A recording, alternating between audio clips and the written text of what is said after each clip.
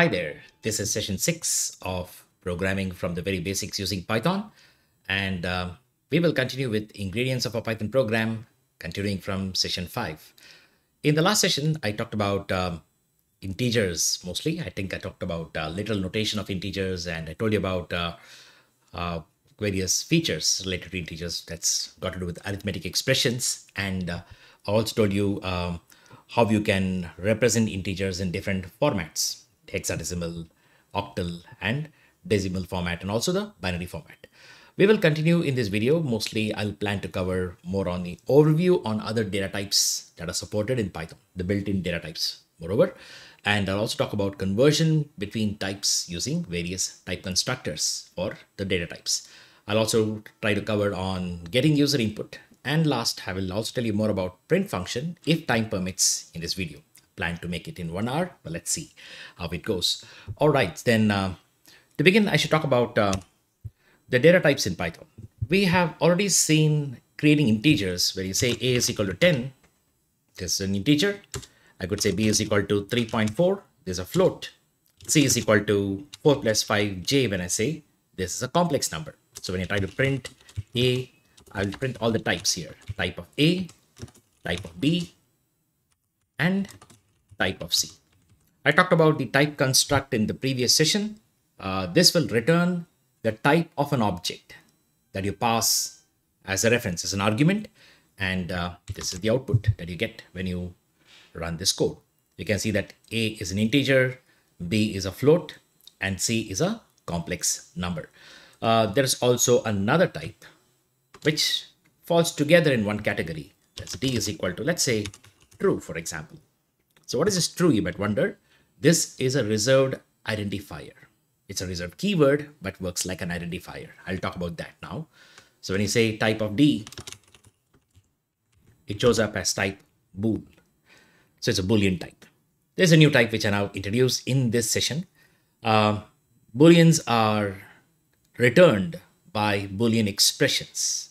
So if you use any boolean expressions, mostly comparison expressions, they return true or false right? So I'll talk about this in a while, just hang in there. So all of these types fall into one category and these are called as numbers. I can call it as numeric types. A little strange here is that if you come from other programming language backgrounds like Java especially, uh, you'll see that Boolean in Python is treated as some kind of a number. Yeah, it is it's got to do with the history of Python. In the very early days of Python, there was no Boolean type. The Python 1.0, 1.5 days, right? There was no Boolean data type.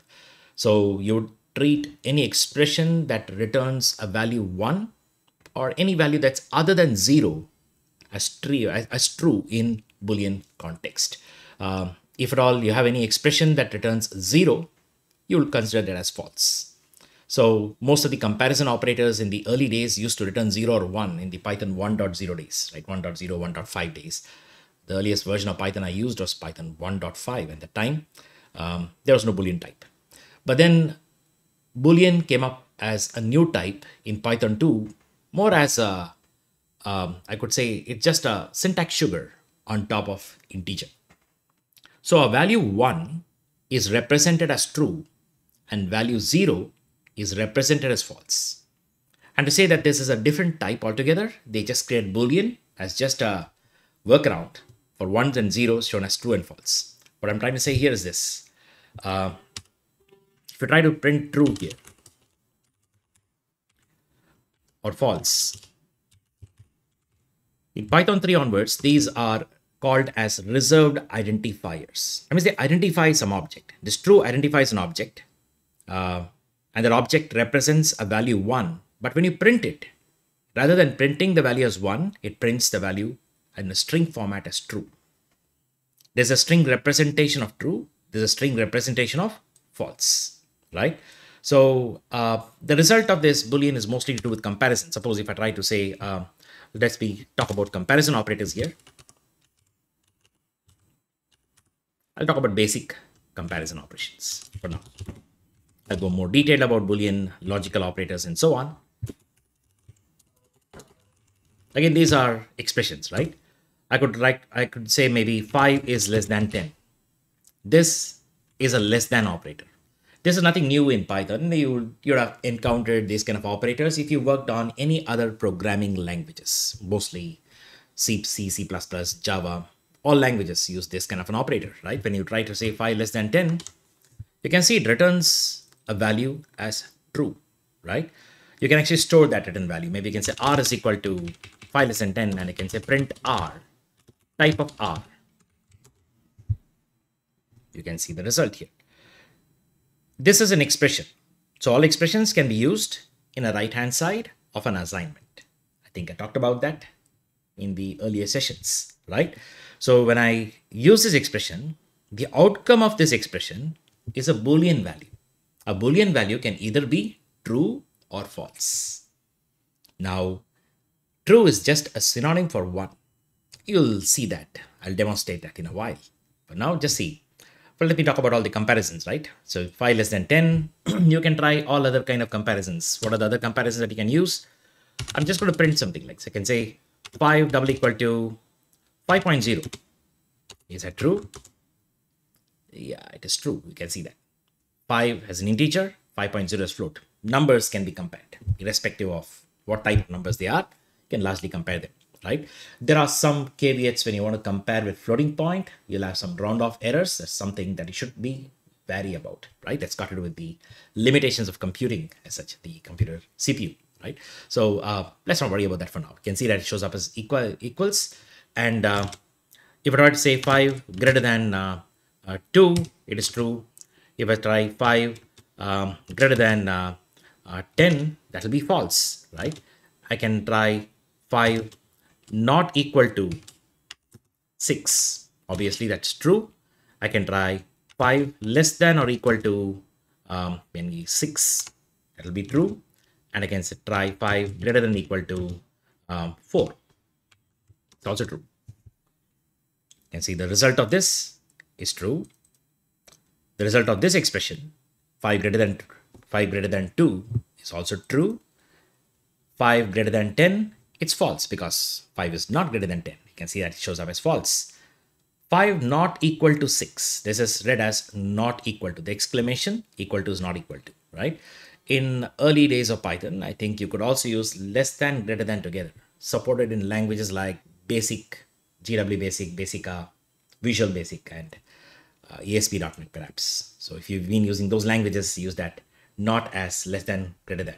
That was supported till Python 2, but I think in Python 3 onwards, they dropped that support. They only support exclamation equal to as a means of checking not equal to. And you have 5 less than equal to. Less than equal to is like check whether the left hand operand is less than or equal to the right hand operand. So in this case, this will return true both if left hand operand is 5 Right hand operand is also 5. The return value is true. You can see that. No change. But the moment you make the right hand operand as uh, smaller, then it will return false. Right? That you can see here. Uh, but then if it's uh, uh 5 is less than equal to 6, even then it shows up as true. The same goes with greater than or equal to. So these operators, what are the operators I talked about? Double equal to, that's for checking equality of values of two objects, right? And not equal to. That's the opposite of equal to. And less than, greater than, less than equal to, and greater than equal to. All these operators are called as comparison operators. And when you use them in expressions, these are called as Boolean expressions because it's doing a comparison. And when you're comparing it, the result is always true or false. That's why it's called Boolean expressions. All Boolean expressions return true or false as their outcome. Now let's try this. What if I try 1 double equal to 2? Left hand operand is an integer 1. Right hand operand is a boolean true. True. Which actually means that true is equivalent to 1 now, right? Uh, if at all I try 0 equals true, it's false. You might wonder why this parenthesis came up. I will talk about that a little later, another session. Okay, that's a tuple, by the way. So this is what happens when you have comma separated, uh, uh, you know, elements in a, an expression. But for now, I'll use print to avoid any extra confusion. And see the outcome here. And if you try even say 0 double equal to false, it shows true. So you can consider that false, boolean type false, a boolean object whose value is false is equivalent to 0. And boolean object true is equivalent to integer 1. Right? If you try with anything else, you cannot compare with anything else. For example, if you try to say, uh, um, you know, print um, 1 in quotes, okay, double equal to true. What do you think is the answer? False. It's not a string, right? True cannot be compared with a string. They're not comparable. When they can't compare with each other, then obviously they might return false in this case. But then you can compare them with integers 1 and 0. So think of true is just a synonym for a value 1. When you print that value though, instead of printing the value as 1, it'll print it as true. That is the only difference. So likewise, false is a synonym for 0, but when you print it as a string, it'll print it up as false. That's what you see here. And these that you see here, these are reserved keywords now. This was not the case in Python 2. You could do strange things like you can reassign to them. This is now a reserved identifier keyword. So which means that there's a keyword. When I use a when I say the word keyword, these have reserved use cases. There are of keywords in Python, right? A little bit of detour right now. Sorry about this. So yeah, always detour back and forth. Let me just bring up a terminal here. I'm just going to go to the Python prompt. I've used the Anaconda prompt here. So if you're using Windows, you can use Anaconda prompt and type Python like I did here. In this Python prompt, you can get a lot of help right here. The initial days when I was journeying with Python, everything I learned was by self-learning and self-exploration. You know, it's a hard way, but that's how I learned it. So to type help here, open close parenthesis, help is a built-in function in Python. This works very well in a standard Python REPL. May not work very well on a Jupyter notebook interface. It's a little interactive, so the interactive command like help is not well implemented in Jupyter Notebook. You can try it out, but you'll see it's a little weird, right? But when I say help, open close parenthesis at the Python prompt, right? You can see it shows up a help system. This launches what we call as a help utility. And now the prompt is changed to a help prompt. If you want to exit the help prompt, just press enter one more time. It just exits. It says you're now leaving help and returning to the Python interpreter. So if you want to ask for a particular help on a particular object, blah, blah, blah, it tells you all these details, right? So I'll tell you how to use the help utility. Let me clear the screen. Uh, if you're using Linux or macOS and you're running a Python program inside, Python interpreter here, Python shell, you can always use the shortcut as Control L, Control L to clear the screen. This might not work on Windows, unfortunately. Uh, I guess it works if you use IPython on Windows. I need to check that. Okay, I didn't do that. I have not launched my Windows VM to verify. Forgotten. But then you can try it out. So Control L will clear the screen. Okay, so once you have done, once I clear the screen now, I'll type help one more time. Now when you're on the help prompt, we can type topics. What topics are available for help? All of these are different topics. So you can look at all these topics. We can look at, let's look at comparison. It's an interesting one. See, comparison. Let's type comparison here. Not sure if the, it is case sensitive. I'm anyway going to type it in capital letters. It tells you, unlike C, all comparison operations in Python have same priority, which is lower than that uh, of the arithmetic and shifting and bitwise operations. Also, unlike C, expressions like A less than B less than C have the interpretation of a conventional, uh, that is conventional mathematics. Uh, there are some details over here. It may not look very beginner friendly because it assumes that you already know about comparisons in other languages, but it gives you some syntax grammar here. This is basically called a syntax grammar that you see here. Official syntax grammar on how you can use comparisons and so on. So it's quite detailed. It tells the operators less than, greater than, double equal to, greater than equal to. All of these are used for comparing values of the objects. And it says the objects do not need to have the same type. I mean, you can compare a float with an integer. It does not throw any error. It might either return true or false based on the value comparison, right? That's what it does. Types can be anything. As long as the value representation objects can be compared, you can use these operators. They're very flexible, right? That's what Boolean uh, comparisons are in Python. Uh, you can see that uh, this help system gives you a lot of details about different topics. For now, if I want to get help on the keywords, that's why I opened the help for, you can just type keywords here.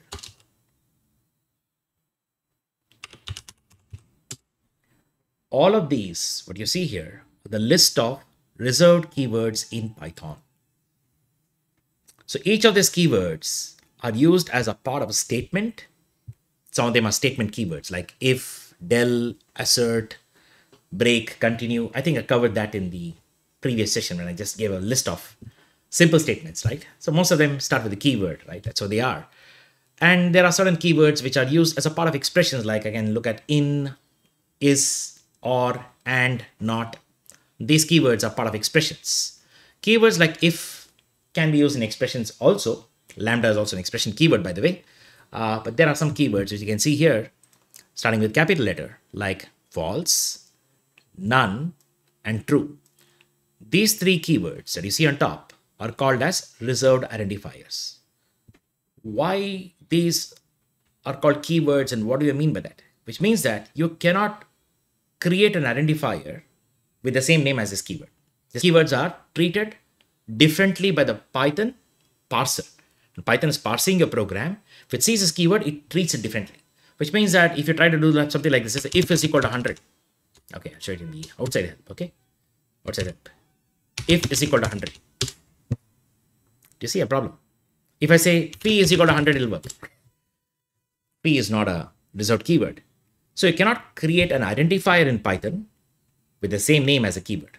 So you cannot even do things like say true is equal to zero. It doesn't work. You cannot assign to true. This is an identifier. See, true is used like an expression. Returns a value, true. False returns a value, false. None returns a value, none.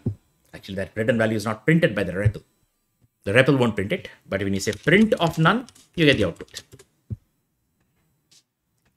Whenever there's REPL, this read evaluate print loop evaluates an expression and expression's return value is equal to none, it will not print anything. But if you want to explicitly print it, you can always use print function to print it. So it looks like this is a keyword.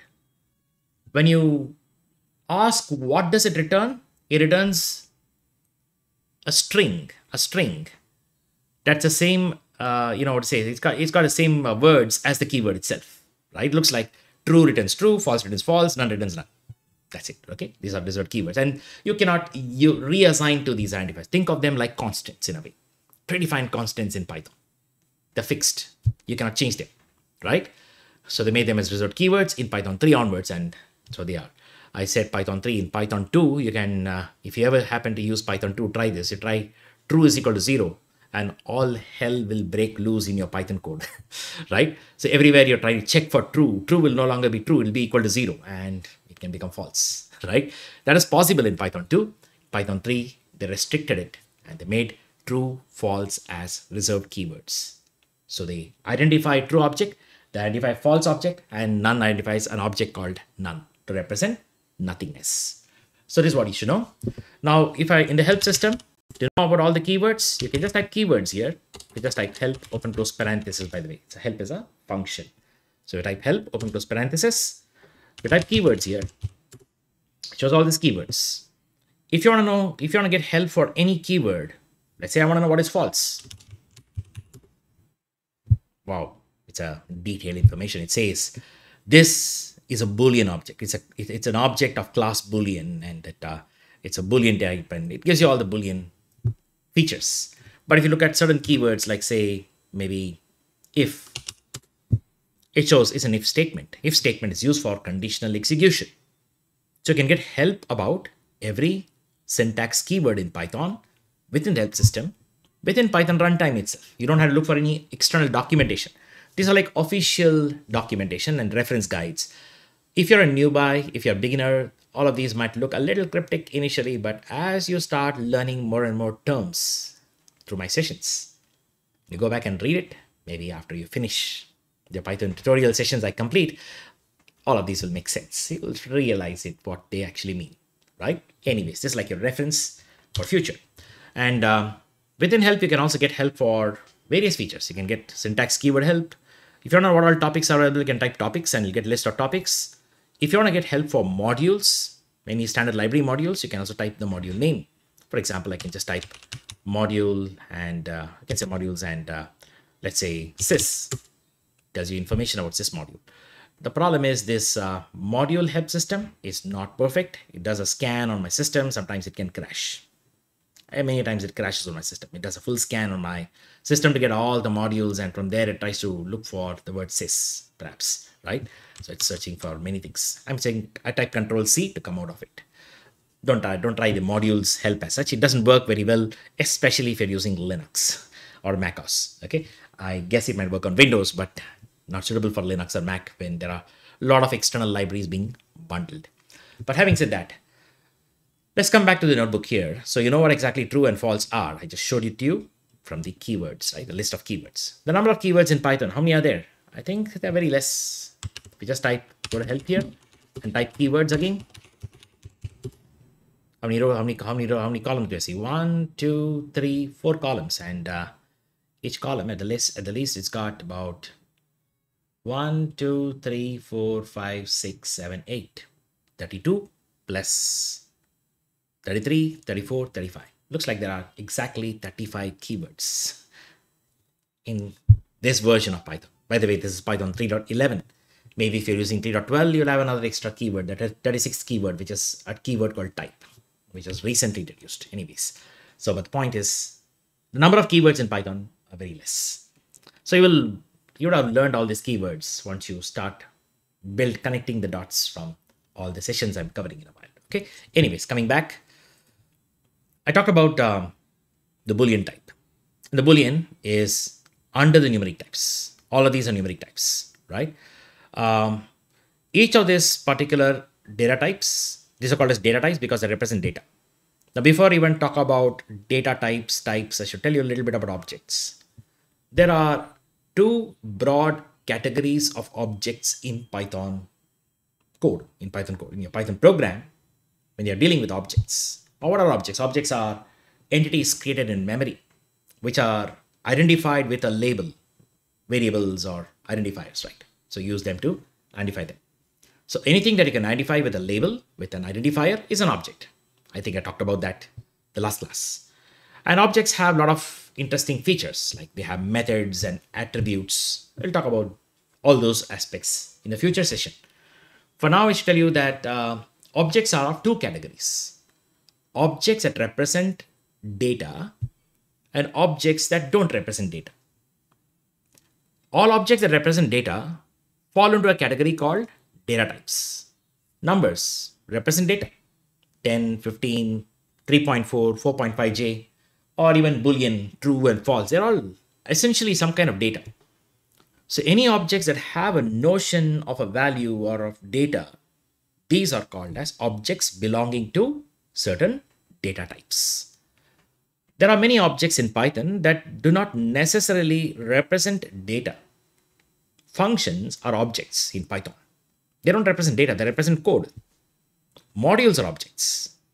Modules represent a package of code with functions and other things inside them, right? Modules are like a packaged library, but they're also objects.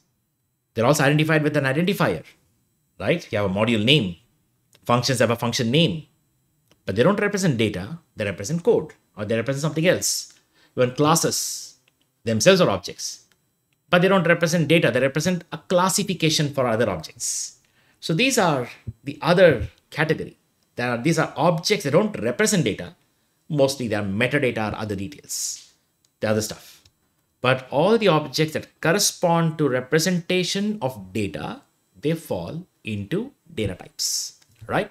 Now, when I talk about these data types, we have numbers. These are all the official numeric types built into Python. I also use the word carefully. I said built into Python. What do I mean by that? You can always create your own new object type and uh, you can also create your own new data type. It's possible. It's, for, it's easily possible for us to add our own new data types, add our new custom classes and objects. Python gives you that flexibility, right?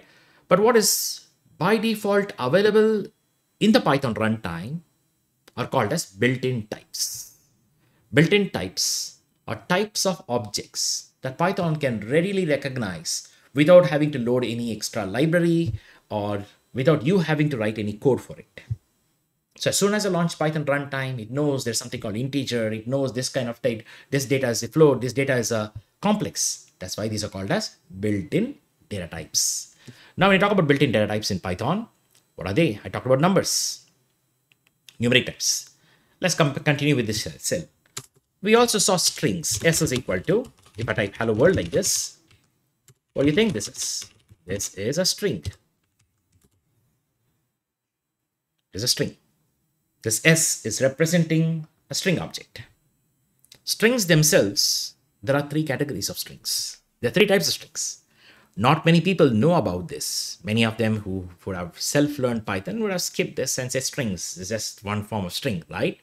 Reality, in Python 3, you have, this is one kind of a string. You can also create another kind of string.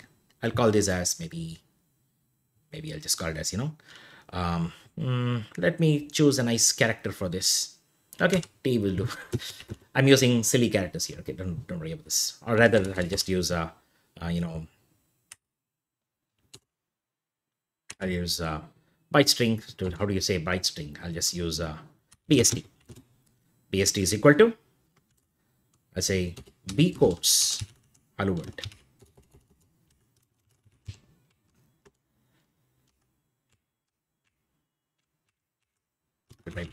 type, of BST. You can closely observe that I put a small b here and then I open quotes and I typed in a normal string and I close quotes at this moment.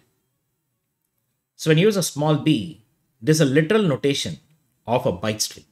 Okay, it is called as a bytes string object. Literally represented using b quoted strings. Some of you might ask me, what is this? I'll tell you in summary for now. I'll give you more details when I talk about a topic on string, right? I'll give, have a dedicated session on string following shortly. So there I will go very much in depth about the ways you can represent strings, what all you can do with it and all. But uh, for now, I should it suffice to tell you that your normal strings that you see here, the characters that you have in the string, all these characters, they support Unicode. Or rather, I would say internationalization or localization. Uh, what do I mean by that? You just you don't have to use just English letters here. You can put all kinds of alphabets with different languages if you know their Unicode notation. For example, uh, I live in India, right? So I can remember some Unicode characters, some because of my regular trainings. And let me just try to see if I can guess it. I can try maybe slash u 09 5, 0 slash u, 0 b, 4, 0. Let's try this. Ah, okay, I need to print, yes. Print S at the end. Oh, this. You know what that is? This is a ah in Hindi. Oh, what is it for? Okay, I think it's for 8, is it? Okay. No, not for 8. I had to remember that. I sort of forgotten. I think it's uh 0C for 8. Yeah. I think these are all some glyphs. But you know what? You go to unicodetable.com, you'll get a Unicode number for various characters. Hindi characters start from uh, 0905, that much I remember. I was trying to recollect uh, what comes in Tamil and Kannada and Telugu. So yeah, it comes in those numbers, but I think I might be wrong about where it starts. Okay, but never mind. The point I'm trying to make here is that if you know the Unicode value, you can put a small slash small u followed by this is the Unicode value for a character which means you can represent a string uh, with textual data, which could represent uh, contents in any language, as long as you know the Unicode values for those characters. You can represent uh, Chinese characters, you can represent even Arabic characters, the right to left kind of character format. So all these are supported, right? Strings are meant for representing textual data, mostly for human consumption. So we as human beings can read it. Byte strings, however, as the name suggests, it's a collection of byte values. Each byte could be anything. It could be from 0 to 255. Now, luckily, uh, the characters HELLO world from our traditional computing days follows this ASCII character set. ASCII, I think uh, you know what that is, right? It's basically following an ASCII character set, which is, I think, um, if all the byte value is 65, it shows up as a capital A. Uh, a byte value of 97 will show up as small e. It just follows that, right? So it follows that particular series. And uh, all these English characters and things that we use on your normal English keyboard, I think they all have an ASCII value and uh, it just translates to that. But you can also represent raw data, raw binary data using a byte string. So if at all I want to read contents of a file, the file has got textual data. I can read it safely into a string. But the file is a raw image or an audio stream or a, a video, you know, file or anything as such, or maybe a program binary. All of these are binary file formats. And if you want to read binary file, form, binary file formats, you read them into byte strings. When I talk about file library, you'll see there are two ways to open a file. You can open in text mode or binary mode. And based on what mode you open, when you read, you get a string or you get a bytes object. And uh, there are ways you can also convert between them as long as the contents are compatible. I will discuss that in a session when I talk about strings. But for now, it is suffice to tell you that this is a separate data type. It shows up as bytes. And there is also another kind of a data type which is called as a, a byte array, which unfortunately there's no literal representation. You have to type it like this, byte array of B codes. And uh, when you try to print type of BTA, BTA is the name of a variable. I chose to say byte array.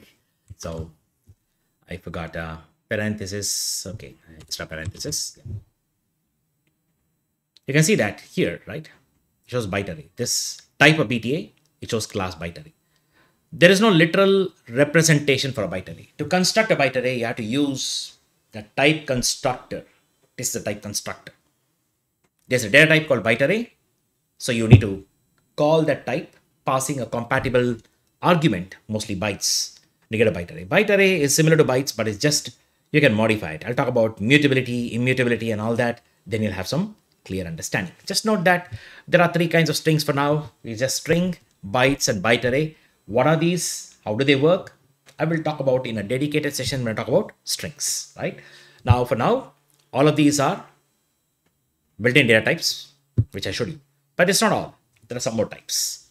Um, let me create another cell here for this.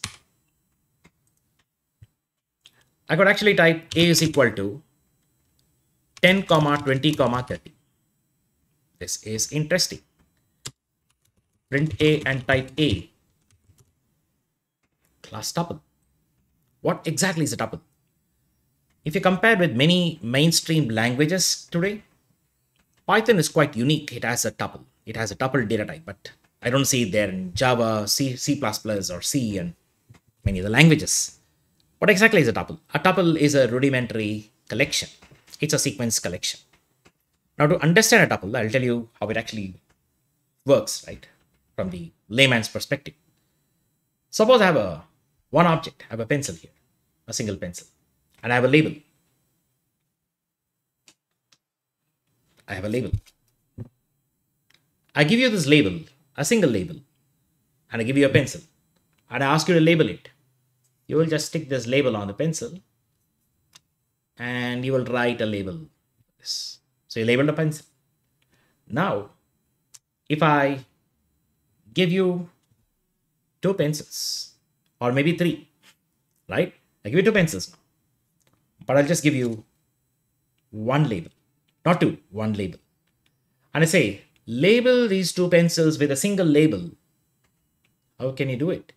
Well, uh, either you have to stick the label on this one, uh, this is not labeled, or you stick on this one, uh, this is not labeled.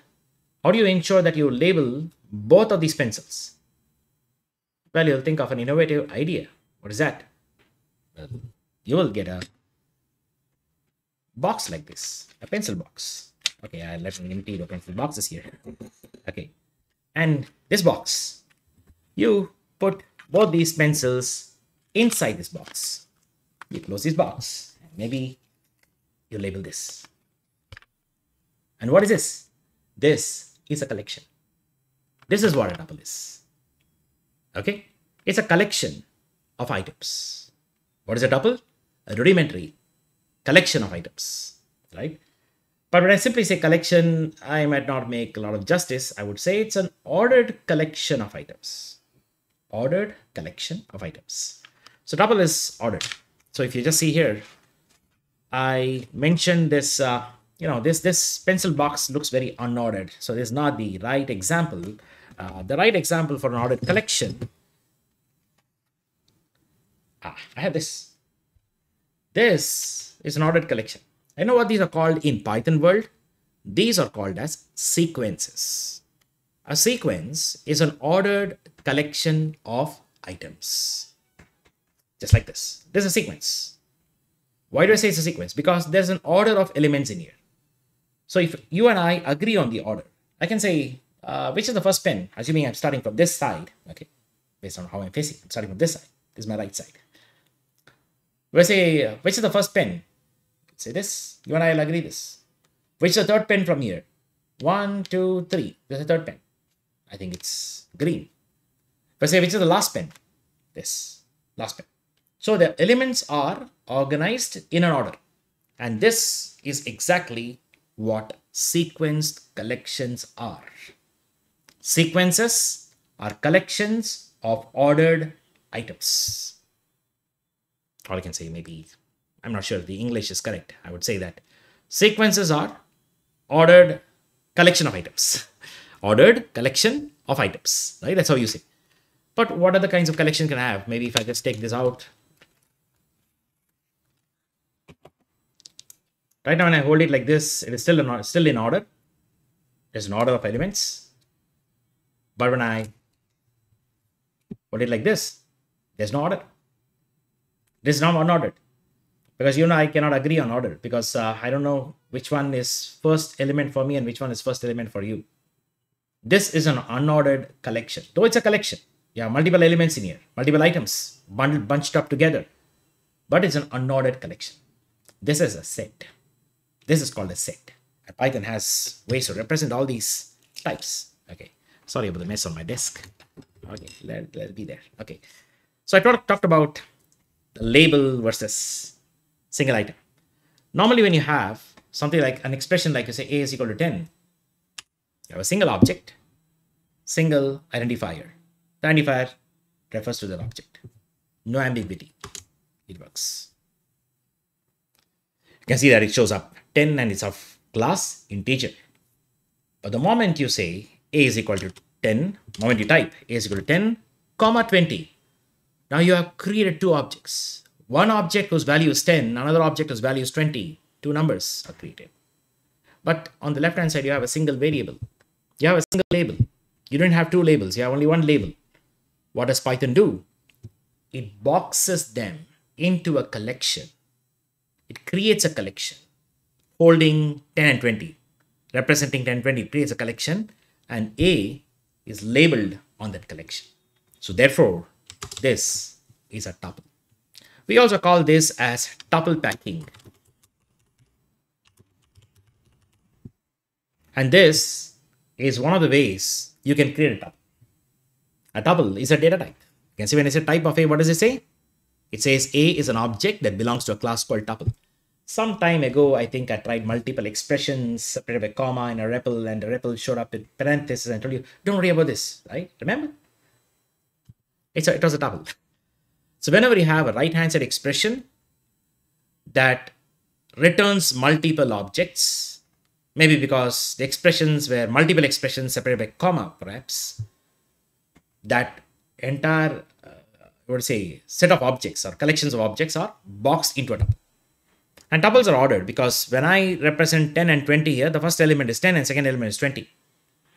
I may be jumping a little ahead at this point, but I'll tell you a tuple is a collection, it's sequence collection, which means you can access individual items of this collection. And how do you do that? using what we call as a subscript expression. I can say A of 0. Indices start from 0. Subscripts start from 0. 0 represents the first item, right? Uh, don't ask me why. There's a this is how it was done in C language, and that's how it's being followed in Python, right? It's become common amongst programmers to start numbers starting from zero, not from one, like mathematicians do. Anyways, so the subscript starts from zero here. So you can say A of zero represents 10. What about A of one? Represents 20. And what if I try A of two? What do you think is the answer? A of two. Well, you might think, uh, it should be nothing. But Python has a rule here. You have a collection of fixed elements. You have only two elements in a collection. You ask for the third element, it's not going to go silently telling, oh, it's not there. It's going to raise it as a runtime error. Do you see that? And the error is little unique. It says index error. it says index error, tuple index out of range. So it shows that the tuple has just two elements in here, two items, and you're trying to access beyond two items, and that's considered an error. So if at all you want to access maybe the third item, in the upper tuple must have third item also, then it works without a problem. We'll talk about all these subscripting operations, a lot of things you can do with it much later. For now, just note that a tuple is just an ordered collection of items. There's much more there into a tuple. We'll discuss that a little later. Just similar to a tuple, there is also another collection which is called a list. Let's say A is equal to 10, 20, 30 like this. But try to print A and type of A. You can see that it shows up a class as a list. It shows up as a list. This is a literal representation of a list. Literal notation of a list. A list is pretty much similar to a tuple. Similar. In fact, it is so similar that in any expression where a tuple is expected, you pass a list, in most cases it will work without a problem. A, a, tup, a, a list can fully replace a tuple in most expressions. Then why have a tuple when you can have a list? We'll discuss that in the future session. For now, should, the, the keywords are, I should say that tuples are immutable, immutable. List is a mutable object. So mutable, immutable, what do they mean? Don't worry about it for now. You just heard it from me, but I will cover that in the next sessions. For now, just note that all of these are built-in types that can be constructed directly using literal notation, tuple, list, and then we have another type which is also called a set. Sets are created by using curly braces, the braces. You can see that when I use this kind of a character here, I call this parenthesis. Some people call it rounded brackets, but this is parenthesis. That's what I'm going to use the term as. These are brackets we can also more specifically call these as square brackets. And what you see here, this character represents a brace, right? Braces, we call them, or some people call them curly braces. So all mean the same. Now, when you create a data like this and uh, try to print it, print A and type of A, you can very well see that it shows up as a set. What is also peculiar about a set is the order. I represent the values as 10, 20, 30, 40, but when I print it, somehow 40 came first, right? If you add more numbers, you can see it gets a little scrambled across. The elements are unordered. Remember, I use the word unordered, not randomized, not shuffled out randomly. Okay, it's not random. The order is not random. It's just that we can't determine the order directly as a programmer until unless we know the internal implementation of how a set maintains things. So don't worry about that. For now, a set is merely an unordered collection of items. But to be more accurate, I should say a set is an unordered collection of unique hashable items. okay, so too much of terms and jargons at this moment, but I will discuss that much later. We'll have dedicated sessions focusing on each of these data types and what all you can do with them. There are a lot of operations you can perform, a lot of methods you can perform, a lot of use cases. But in this particular session, it is suffice to know at a very high level overview about what are these types and how what Python, uh, what are the built-in types in Python and what how you represent them using literal notation. And the last built-in data type I should talk about is not last, I believe, last but one, I would say, uh, is a dictionary, the most commonly used data type. And there are many ways you can construct a dictionary, but there's a literal notation of a dictionary where I can type something like, say, name Jonathan place. Let me choose a place, random place. So what do I think? What do I think in my mind? Denver. Okay. And uh, let's say age, and let's say he's just about 25. Looks like a nicely organized record. And what is this? It's a key value pair. This is a key value pair. And we call this a dictionary. You see what it shows here? It shows up as a dictionary. So when you say D is equal to open curly brace, there's a key, which is a string, by the way. You have a colon here, followed by a value. This is, this is one pair of keys and values. Name corresponds to Jonathan. Place corresponds to Denver. Age 25. So if you want to represent some kind of a key value record set, you could use a dictionary, right? More about dictionaries a little later, but for now, you should note that these are all the kinds of types that Python supports as the built-ins, right? That's all the built-in types supported by Python. All right. Now I told you about all these types, and the last one I should talk about is a type called none. You know, we you've already seen that. Uh, that is, if I just if at all I try to say maybe n is equal to none, and if I try to print type of n, it shows it belongs to a class called none type. None stands for nothingness. If there is an expression that does not return any value, what kind of expressions don't return a value? Maybe mostly I can think of as functions. There are certain functions that are meant to be invoked as statements, not has right hand side expressions. Print is an example. You never say A is equal to print of hello world or R is equal to print of hello world. You don't want to use print as a right hand side expression and get the return value of print. It has no outcome. These are functions designed to be used as statements, not as right hand side expressions. Such functions return none. In case you forcibly call it and the right hand side expression try to get the return value, the return value is none. I think I would have told you that I would have talked about this much earlier. I'll just demonstrate this in a cell all the way below. I'll try to say r is equal to print of 10 plus 20. I said r is equal to print of 10 plus 20. When I run this, print prints the result of this expression. First, the expression is evaluated. 10 plus 20 becomes 30. Print prints 30 on the screen. But then, what about the value of r? Does it return anything? Let's try and check it out. We'll say print r. This is return value. Print returns nothing. It only prints what you pass as an argument on the screen. The standard output in this case.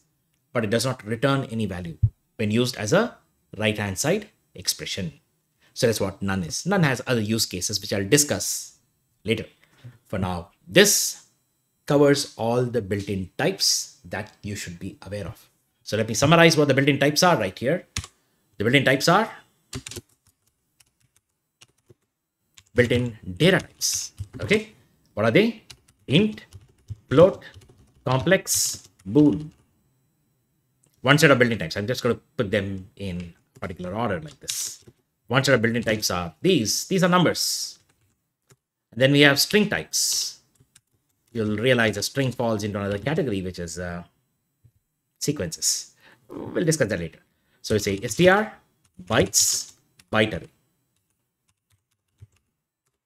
And then we have further categories. Another, another category, which is tuple list. And we have a set.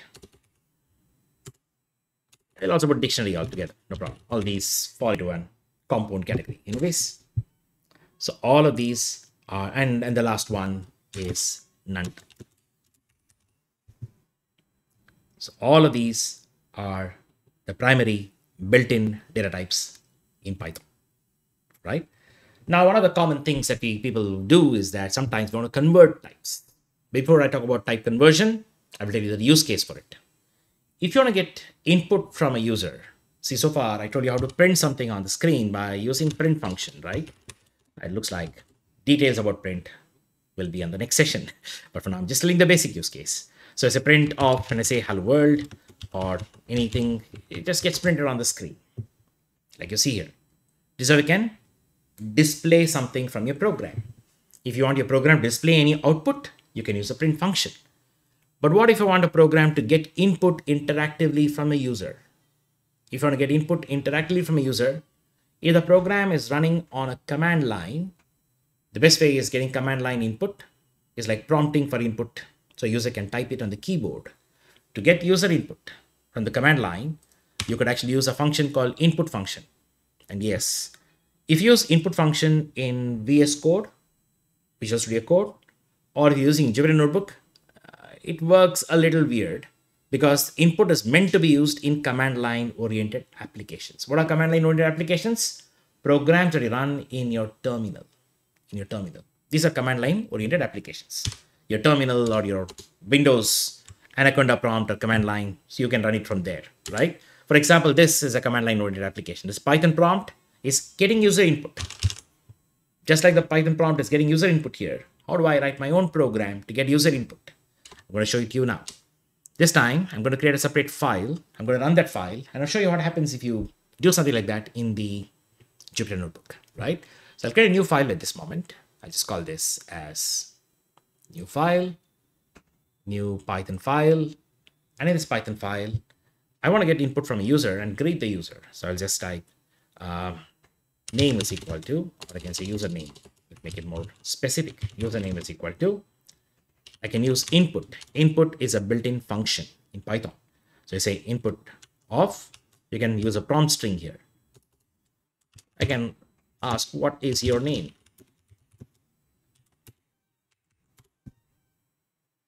And now, um, if all the I user type something, I want to greet the user. For that, I can just greet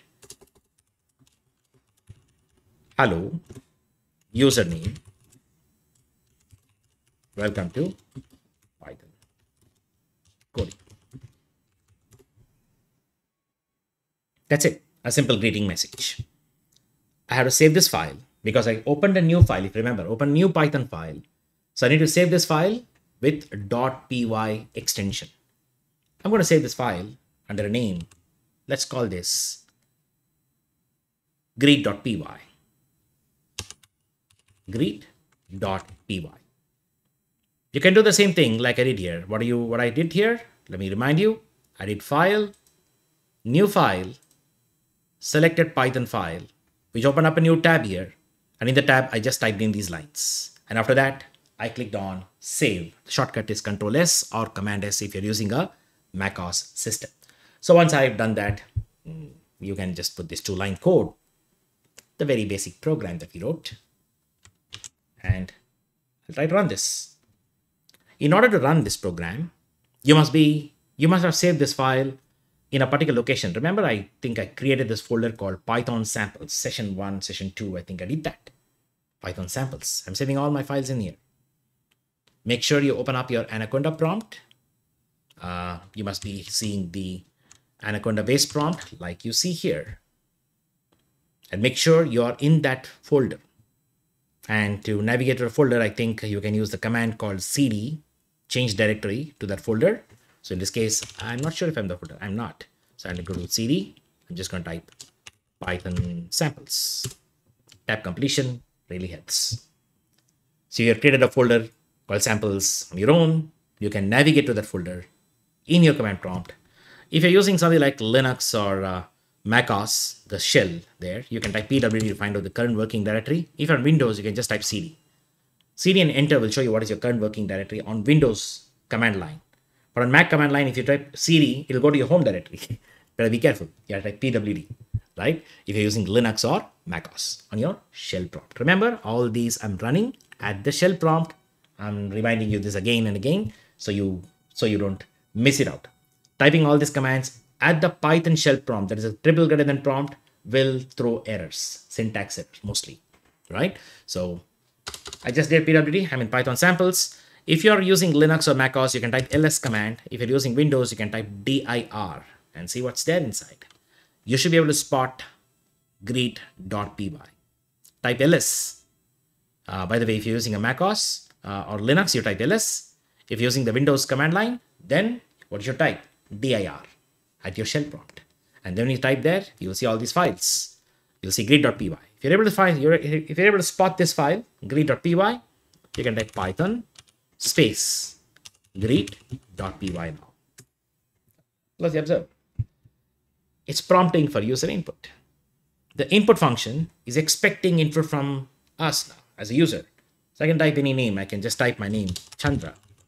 I shorten names, let's say.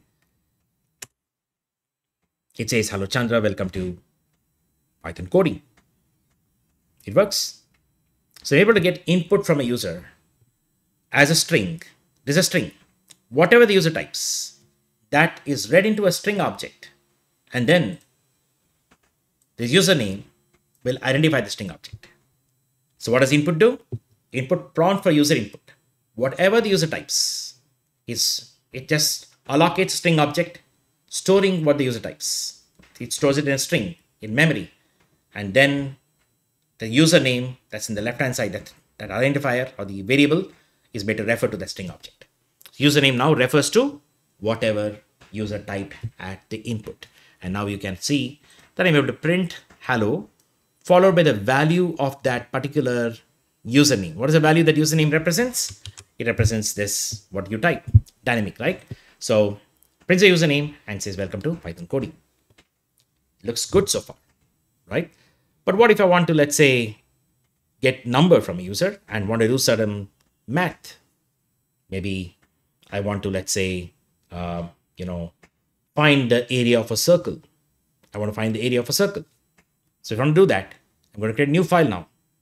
File, new file this time.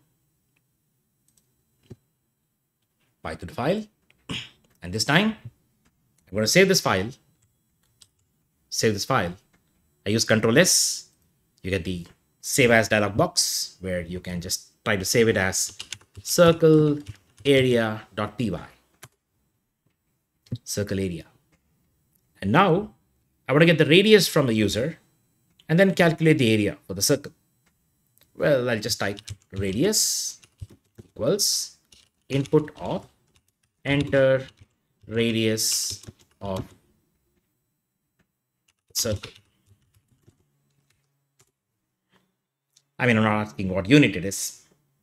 It could be centimeters, it could be inches, it could be feet. It doesn't matter. A number, whatever number it is. You can also make it even more better where you can take it in uh, a specific unit and convert it accordingly. Let's keep it simple for now. So I'm going to take the radius from the user. I'm going to compute the area of a circle. The area of a circle is, you can say area is equal to pi r square, right? So how do you do pi r square? Well, there is no value called pi, so we can approximate it by using 3.14. Later on, I'll tell you there's a math module which has math.pi constant defined.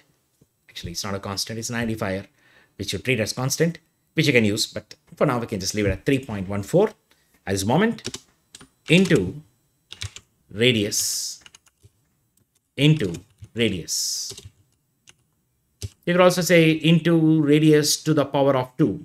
That's all fine. I think for simple square, I can use it this way.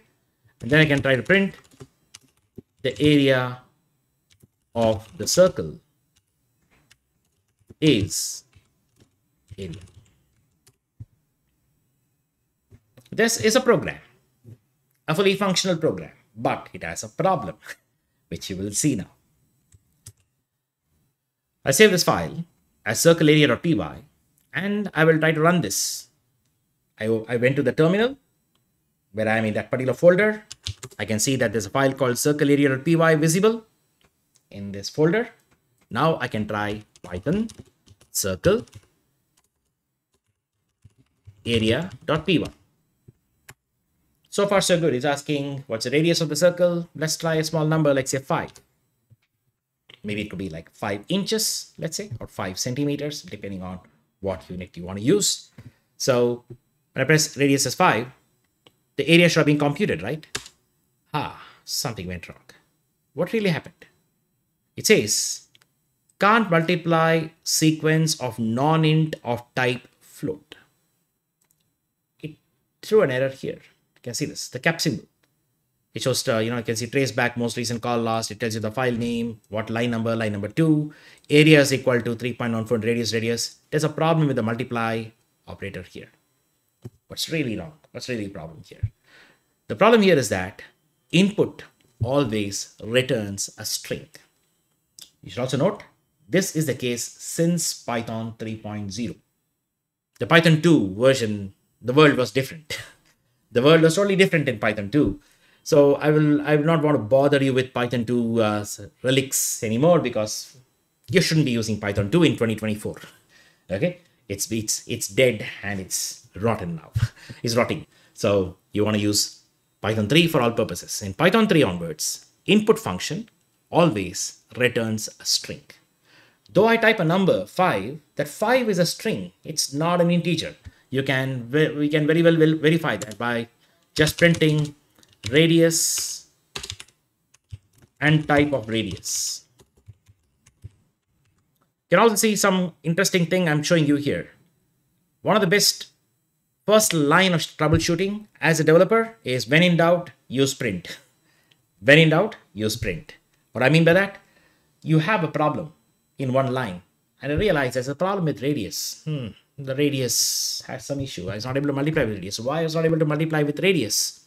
Let's try to print it. Is radius getting in, is, is the radius uh, value being fetched correctly? Let's print it. So by adding kind of print statements like these, you could quickly fix issues. But when your code gets a little larger, uh, this is not really suggested. For small snippets of code, you could use print. When in doubt, print. Okay, so for large, larger code, you should have some kind of a logging framework enabled where you can turn on logging and start reading the logs, which I will discuss at a much later stage. But now you can see as a print radius, type of radius. And now if you let's try to run this again uh, at this moment. I'll type the I'll type radius as 5, repeat the same number, right? Uh, enter radius of circle 5 I printed the value of radius, it shows 5, but what is the type? String. You can't multiply a string with a number. String cannot be multiplied with a floating point number. You can multiply with an integer. I'll talk about that later. But for now, float into string is not compatible. That's why you got a type error. What do I do now? I need to convert that input, which I got as a string, to floating point. How do I do that? Well, you could actually do this. You could actually say directly here, float of, input of, enter radius of circle. Float looks like a function for us. It looks like a function. I'm calling float. To float, I'm passing result of input. So function call inside a function call. It's like a nesting that you see here. This might look a little counterintuitive at the first time, but this is a common practice that we always use. I'm going to explain what happens in a while now, okay? In the Jupyter notebook rather. For now, just put a float of input of enter radius and everything is going to work just fine now. I'm going to clear the screen. Control L works for shell prompt also, by the way. And now if I try to say python circle area.py, you can see I'll type 5 one more time. No problem. Area of circle is 78.5, we can see that the second line, 5.0, class float. So what happened? Well, this is called as a type constructor expression. What is a type constructor expression? You are constructing an object using the type itself. See, when I say a is equal to uh, 4.5, let's say print type of a, what does it say? It says class float. In Python, there are built-in identifiers to identify all the built-in types. there are built-in identifiers to identify all the built-in types in Python. So what are they? See, there is something called float in Python. That's a built-in identifier. Float is like print, right? Print and uh, len and all this is an identifier. It identifies something. What does it identify? It identifies a built-in type called float. It identifies a class called float, by the way. We just try to say print of float. You can see what it prints. So there is a type object represented as float. There's a type called float. There's a label called float that refers to it in Python. It's already prepared. Python has it as built-in. All built-ins are predefined, right? That you see here. You can use this to construct floating point objects dynamically. One way to create a float is you can say a is equal to 4.5 like this, right? You can do that. This is a literal representation of floating point from which float object is created. But consider the fact that I have a number like integer like this. This is an integer. Let's say print, uh, if I just say print a, type of a, class integer.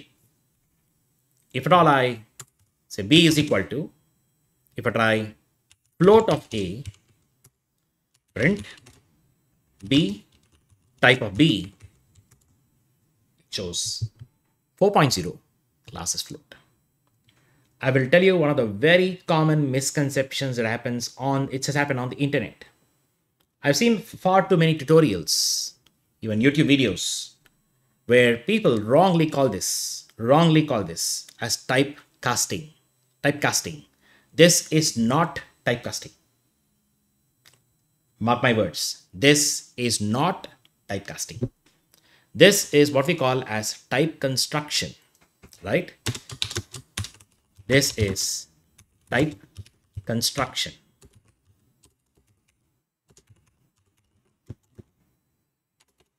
And not typecasting. To understand about type construction and typecasting, I should tell you something. Casting, what do you mean by that? It's like this. The word casting is like the best example I can think of is uh, an analogy of film actors. You know, in one movie, an actor is cast as a hero, as a main person. In another movie, he could be a comedian and yet another movie you could be a villain. Same person, different movies, different roles. That's called typecasting. If all I have an object in memory and uh, not some data, not, I'll not even use the word object at this moment, some data in memory.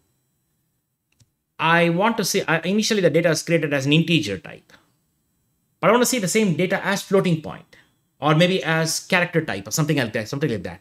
The data is same, but I'm seeing in a different view based on my context. That is typecasting. And typecasting is a feature found in statically typed languages, moreover. Because you typify variables, you define a variable of type integer, and in most of your modern programming languages, integers are generally 4 bytes. Or is it 8 bytes? It can be 8 bytes. So if your integer is of a particular fixed length, maybe 8 bytes, let's assume. But for some reason, I'm not interested in reading the entire 8 bytes. I want to read only the lower 4 bytes or lower 2 bytes or lower 1 byte of that integer. I create another variable where I'll cast it to the lower 1 byte of this existing data, right? That's called typecasting. Use that char or int, common in C most people look at that and look at this and they say it's the same thing. It is not. Here, you're creating a completely new object of type float, copying the value from integer. There's an integer object which got a value 4. Reading those contents, reading the value of an integer, another object is created, which of type floating point. The value also is 4. So the two distinct objects you constructed a new floating point object using the value from an integer. As using the value, the value is copied internally.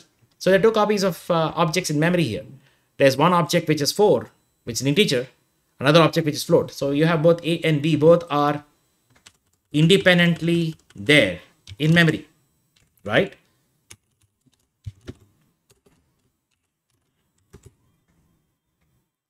So this is a constructor expression. So what is this? I'm constructing an object of a new type.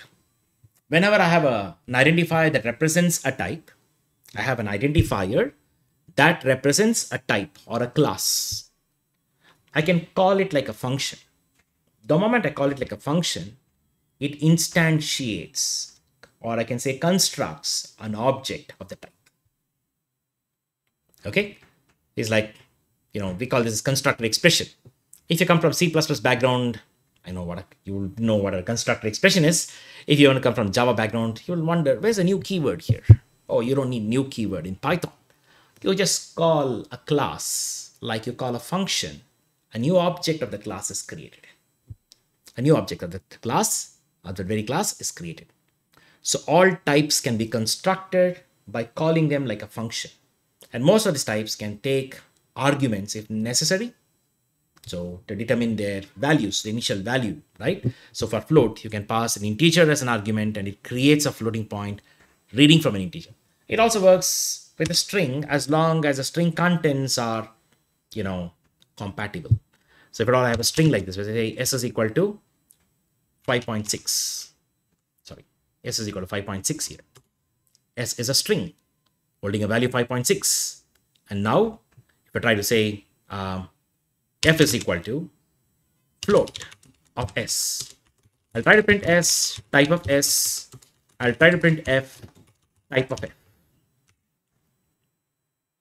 You know, all these things I'm typing so far, I recommend you people to try it out, okay? You might see me all typing on the video and going fast, but just I'm um, digressing here and telling you, all of these things, you have to practice. Everything you try it out on your own and check it out verify it for yourself. Until you verify it for yourself, you can't be 100% confident on how it works, right? Just try all these things out. If you want, pause, pause the video, try it out, come back, try variations, you learn more, okay? And you can see this.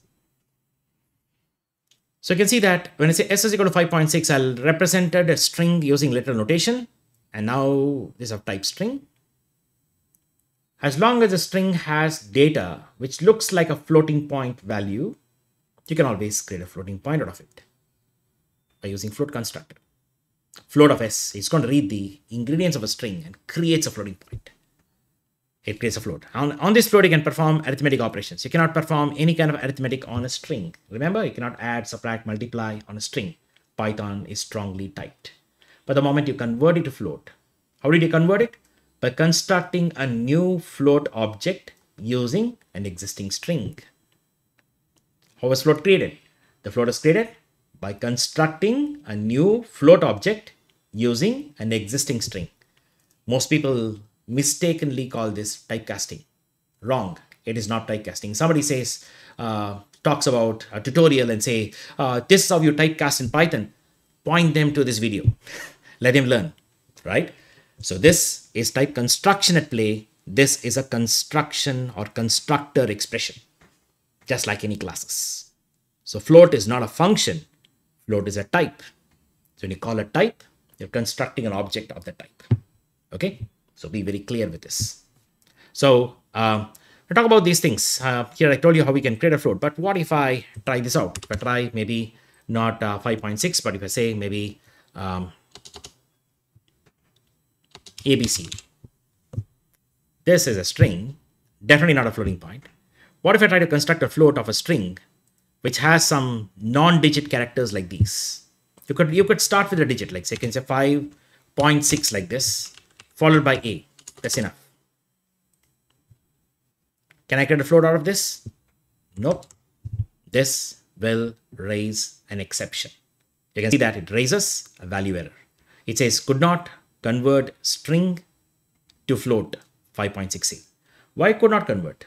Because it found a misleading character here. It doesn't know how to handle it. And the error is very interesting. You can see it's called a value error. The type is okay. You give me a string as an argument, I'm happy with it, but the string should contain the value which I can create a floating point out of. You know what I mean? That's exactly what float is expecting.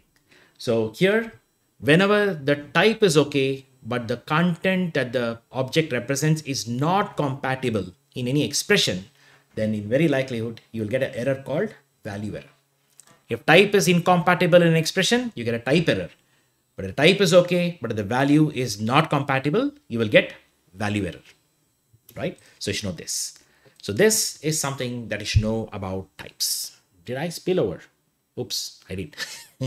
I have to continue the next session again. So I think it's almost like 15 minutes off one hour.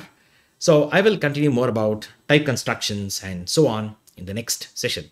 I think I gave you some insight about input function, right? Now here's a quick exercise for the people.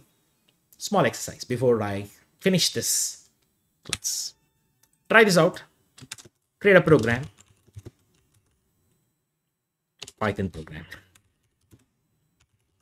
to convert temperature from Celsius to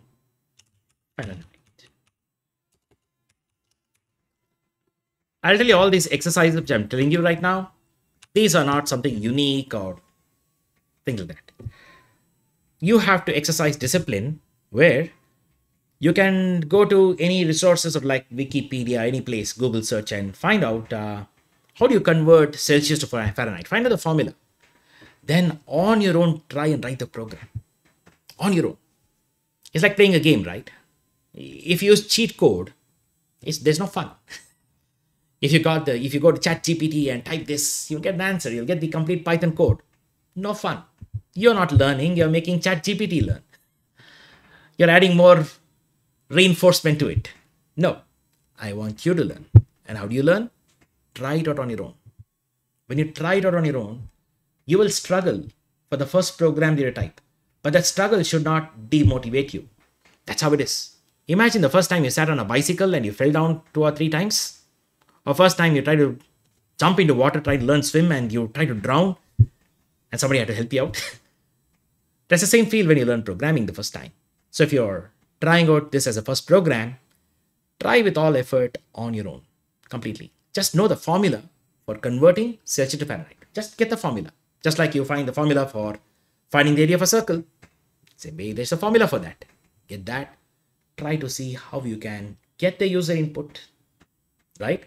get the Celsius value as user input, convert to Fahrenheit, print it. This is the first step. If you're able to do it like this, fantastic. You have managed to figure out Python syntax, right? So that's how it is. So try this exercise out. More to follow in the coming sessions. As and when I have some interesting topics covered in the session, I will give you more exercises for you to try out. And if you are able to find the answer to the exercise, or don't post it on comments, send to me by email. or at least say on comments that I have found it. Okay, so I was able to solve it. That'll, that'll be good. All right. And if you're stuck with something, let me know.